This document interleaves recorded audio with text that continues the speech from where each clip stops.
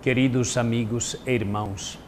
No programa de quarta-feira passada, refletimos sobre a desolação humana e terminávamos afirmando que, embora em nada seja fácil, a desolação também pode ser vista como uma oportunidade de conversão a partir do reconhecimento de nossa fraqueza.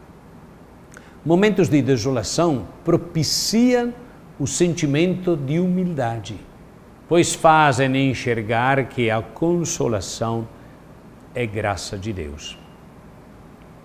A esse respeito, o Papa Francisco, no dia 27 de setembro do ano passado, numa Santa Missa celebrada na capela da Casa Santa Marta, indicou três graças que devemos pedir ao Senhor reconhecer a desolação espiritual, rezar quando nos sentimos dominados por este estado de desolação espiritual e saber acompanhar as pessoas que sofrem momentos difíceis de tristeza e de desolação espiritual. E o Papa tomou como referência a figura de Jó.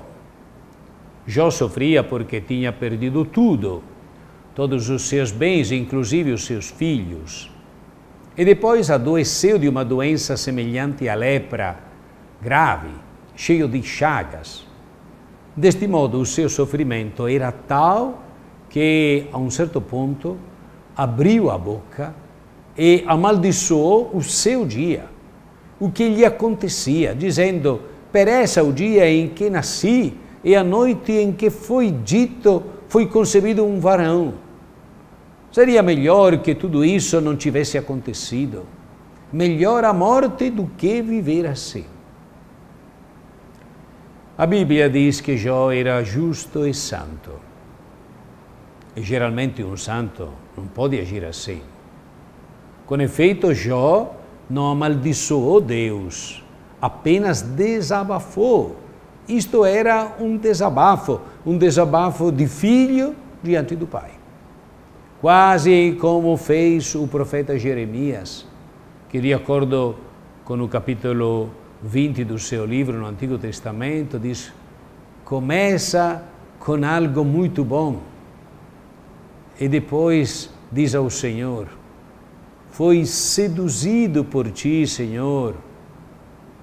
Mas logo depois, como Jó, também Jeremias diz: Maldito o dia em que fui concebido. E, no entanto, estes dois casos não são blasfêmias, são desabafos. Ambos se desafogam diante de Deus porque os dois sentiam uma grande desolação espiritual.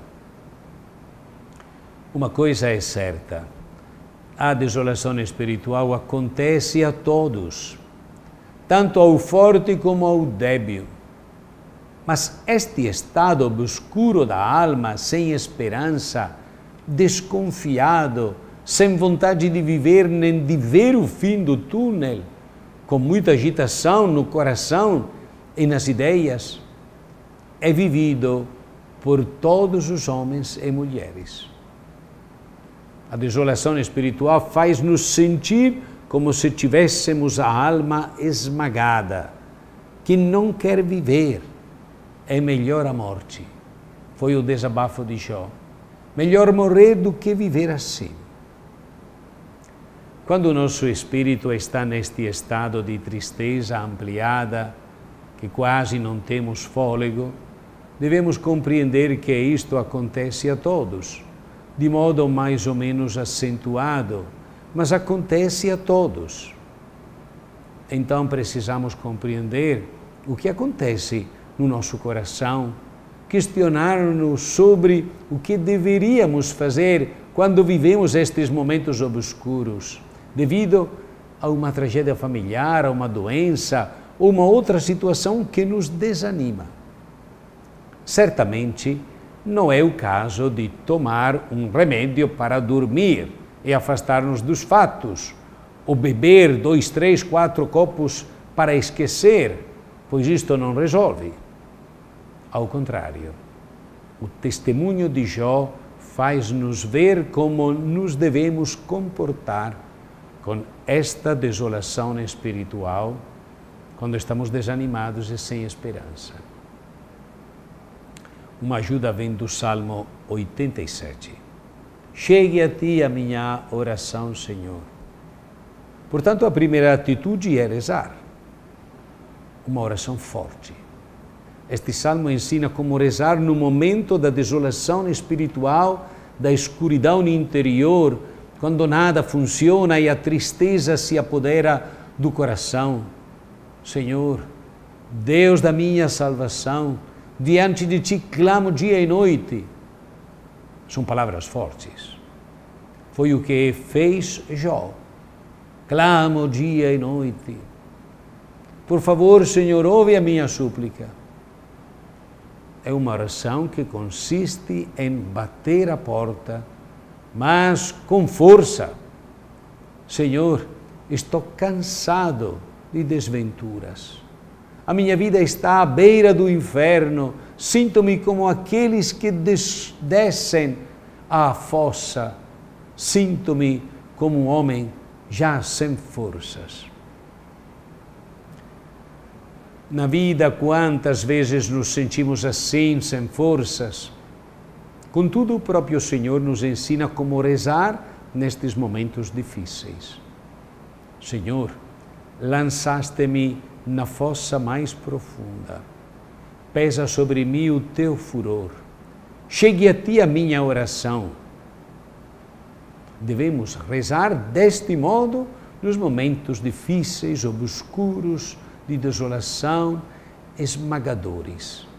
Estes momentos que nos sufocam porque isto é rezar com autenticidade e de qualquer maneira serve inclusive para desabafar como desabafou Jó com os filhos. Como um filho.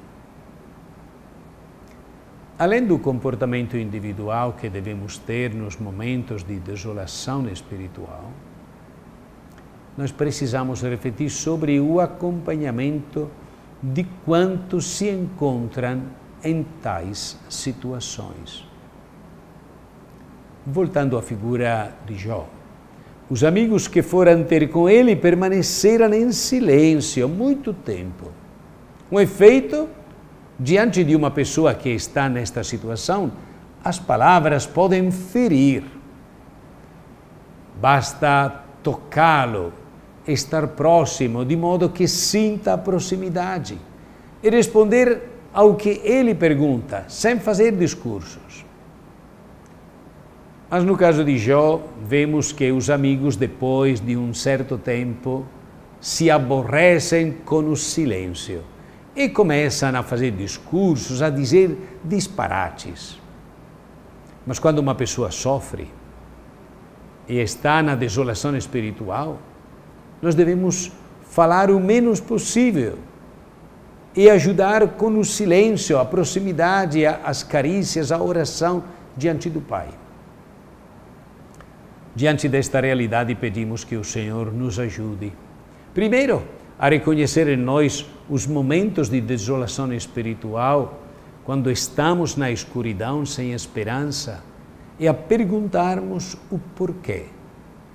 Segundo, a rezar, como nos ensina o Salmo 87 é chegue a ti a minha oração, Senhor. E terceiro, quando me aproximo de uma pessoa que sofre por uma doença ou por qualquer outra circunstância, mas que sente precisamente a desolação, eu tenho que fazer silêncio. Um silêncio com muito amor, proximidade, carícias. E não façamos discursos que no final não ajudam e até ferem. Que Deus abençoe a todos em nome do Pai, e do Filho, e do Espírito Santo. Amém.